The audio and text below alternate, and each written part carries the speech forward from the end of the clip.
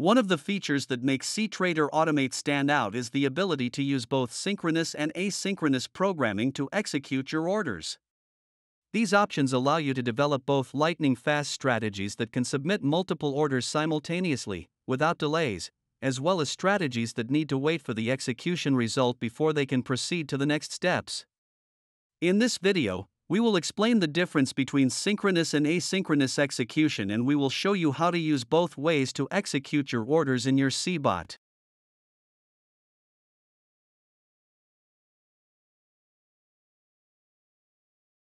We will start by demonstrating synchronous order execution using a simple diagram.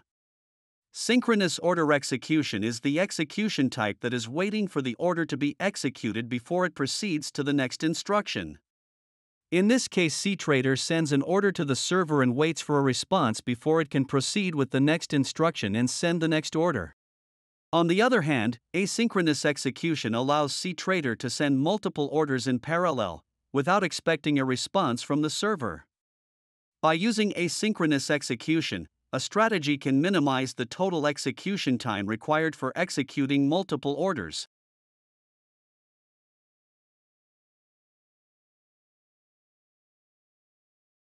Now let's navigate to cTrader Automate and create a new cBot named Parallel Orders Execution.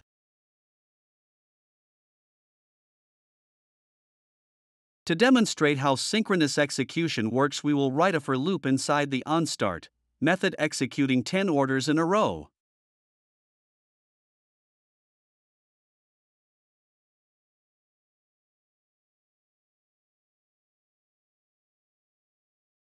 We will achieve this using a for loop and execute market order method.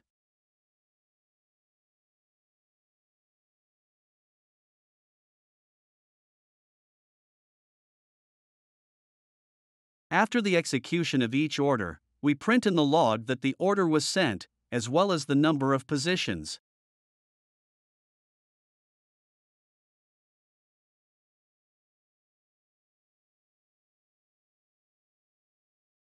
We can get the number of open positions using the count property of the positions collection.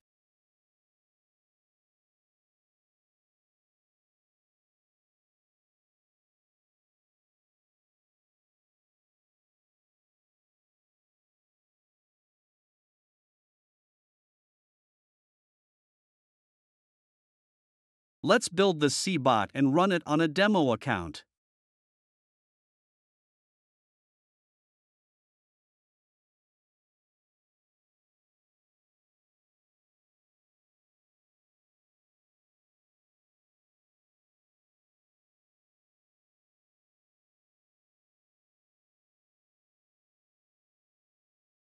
Then, let's inspect the log. As you can see, the positions count is increasing after each position is executed. This means that the code is waiting for each order to be executed before sending the next one.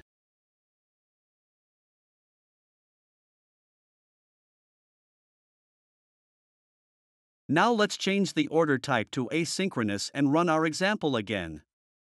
We can do this by using the execute market order async method instead.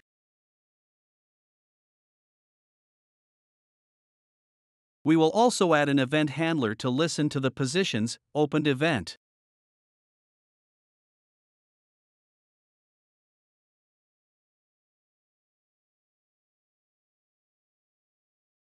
In our event handler, we will print a message in the log as soon as a position has opened as well as the number of open positions at the moment.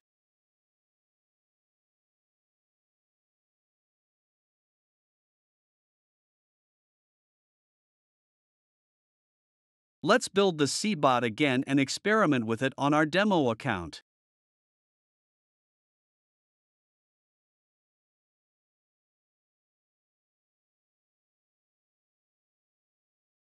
Let's inspect the log.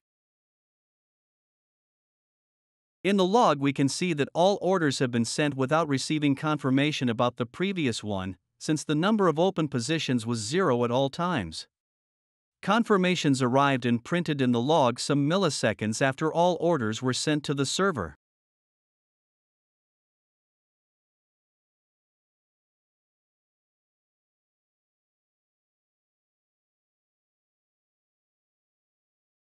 Now we can move back to our source code and demonstrate an important feature of asynchronous order methods, which is the option to use callback methods that are triggered as soon as the operation has finished. In our example, we will remove the positions open event handler and replace it with a callback method that will print the message as soon as the order has been executed.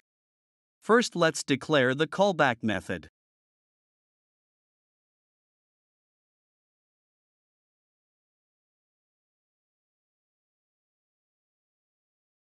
In our callback method, we will write some code to print in a message in the log whether the trade succeeded or not.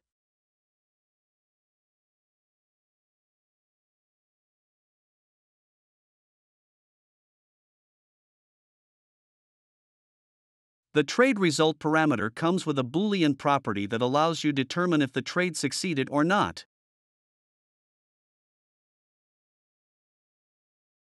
We will print the relevant message for each case.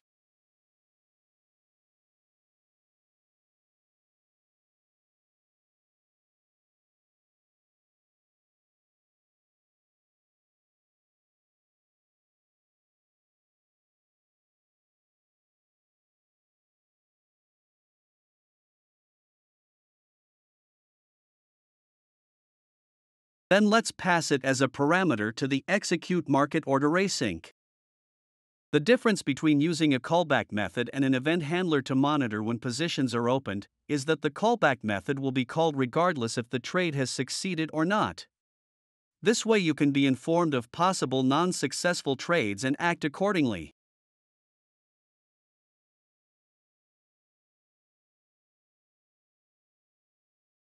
Lastly, we will demonstrate how to monitor the status of an asynchronous trade.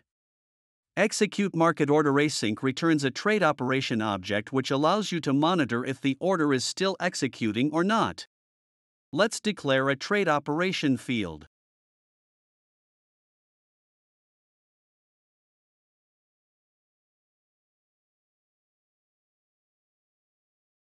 Then let's remove the loop keep only one execute market order async method and assign to our trade operation variable the result of the execute market order async method.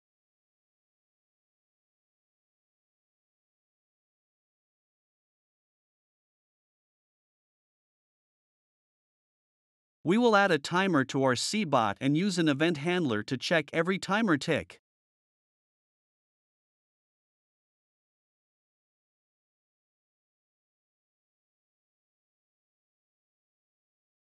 We will check the status of the operation every 100 milliseconds.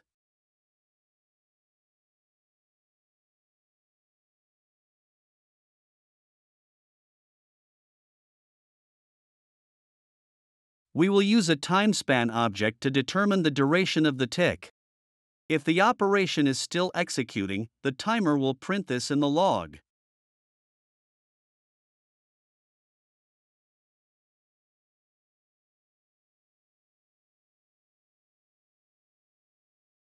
In our timer, if the trade operation field is not null, we print the status of the operation.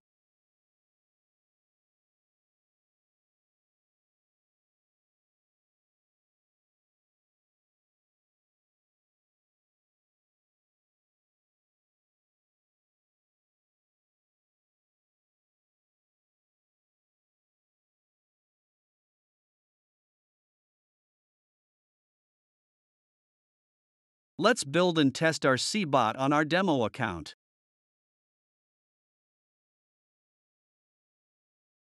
By inspecting the log, we can see that between the order submission and order execution, the timer prints in the log that the order is executing. After the order has been successfully executed, the timer prints that the trade operation is not executing anymore. In this video we demonstrated the power of synchronous and asynchronous execution in cTrader Automate.